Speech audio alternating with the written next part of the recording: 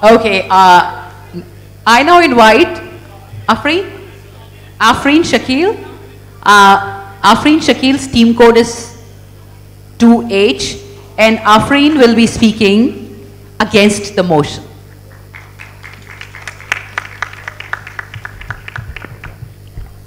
Albert Einstein once said, It has become appallingly obvious that technology has exceeded our humanity. Good afternoon, those who are present here. This is official from MMK High School, Ranchi, Jharkhand. So, coding language is a set of syntax rules that define how code should be written and formatted. Thousands of different programming language make it possible to us create a computer, website and apps. We consider that these software apps are website are very important for the people as well as nation international power and influence.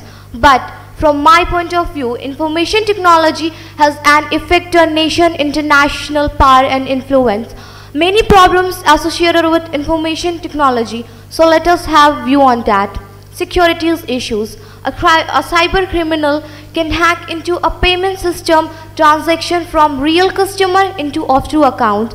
The hackers hack the company's personal information and sell it to the rival company and used it to the damage the image of company. Technology is an organization, company or business.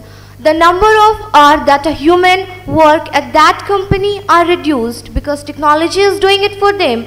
The result is that people are losing their jobs. However, it is beneficial for the organization, but it would not be beneficial for the progress of any nation because uh, human resources is the most important asset for the organization and it is the backbone of any nation. It creates health problems. Many research show that technology can cause a number of problems with a person's health. Many scientists are concerned about possible link between technology, heart problems, eye strain, obesity, muscles problems. Waste emitted from technology which can pollute the environment and make people ill. Technology over reliance. Lots of people believe that technology became such a regular part of modern life and lots of people, especially children who grow up with it will not be able to function without it. When it particularly come on a project or essay research as instance of reading book, they can just perform a Google search. And last but the not least, addiction is the major problems. People are not dependent on technology. They are also addicted to it. Thank you so much. Have a nice day. Someone who's not asked a question yet, please go ahead. Second one. You, you.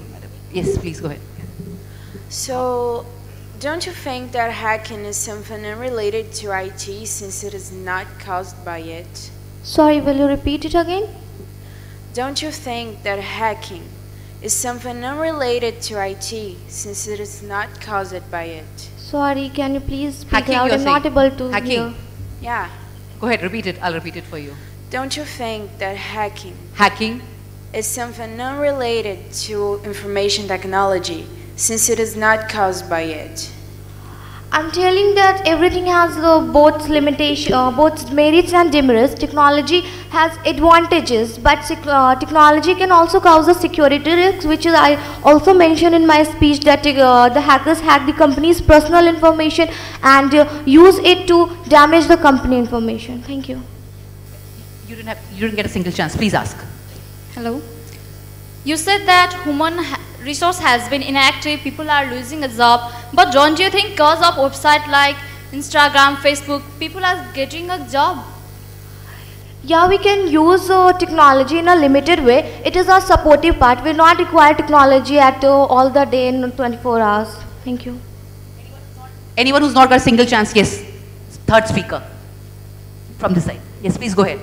Ask a question, please. Okay, uh, you said that some companies have scandals.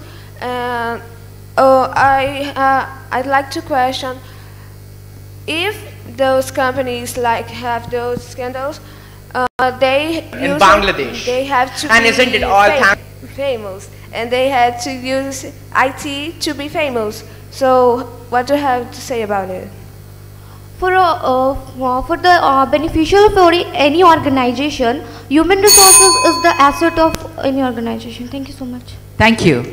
Thank you, Afreen Shakil. Thank you. And now I.